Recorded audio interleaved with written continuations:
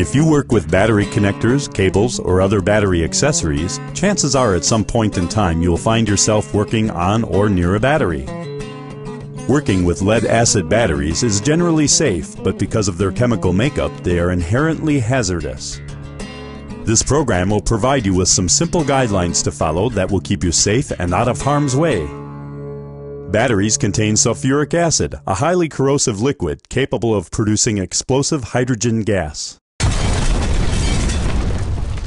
Even when a battery is not in operation, it is self-discharging hydrogen gas. Therefore, it is important to store a battery in a well-ventilated area.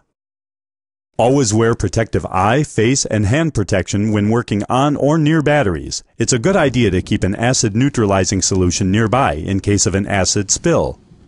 And because of life's little surprises, it's definitely a good idea to keep a spare set of nitrile or rubber gloves and safety glasses in the glove compartment or stored away in your vehicle somewhere. Keep all sparks, flames, and cigarettes away from batteries. They could cause the battery to explode, which could be very dangerous for you and anyone around the battery. Also be very careful when working with metallic tools or conductors. Should you inadvertently cross terminals or connections, you could short circuit the battery or the power source, or worse, you could cause sparks and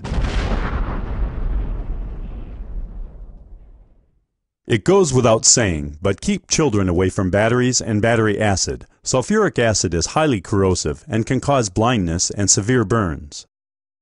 Never lean over the battery while boosting, testing, or charging. Step aside as far as you can in case of explosion or acid spill. Always check the battery for leaks and cracks before handling the battery and never jumpstart a cracked or leaking battery. It has the potential to explode. To prevent the hydrogen gas from building up, lead acid batteries come equipped with either removable vents or non-removable vents. Never try to open a battery with non-removable vents. Keep removable vents tight and level when servicing electrolyte. Lead acid batteries can be quite heavy. Be sure to lift the battery with both hands, using the proper carrying apparatus if provided. When it comes time to jumpstart your dead vehicle, there are some common sense reminders to follow.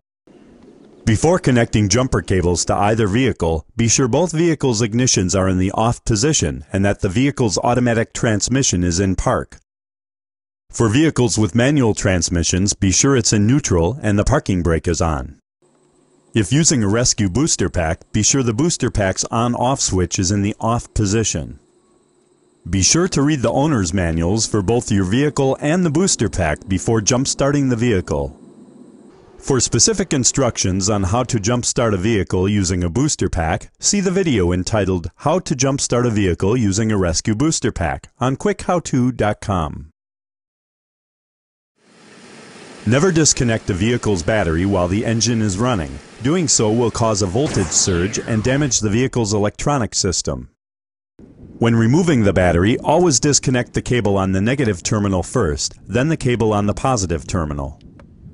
When installing a battery, reverse the order. Connect the positive terminal first, then connect the negative terminal. Even while following all the necessary safety precautions, accidents still happen. So what does one do if battery acid gets in the eyes or on the skin?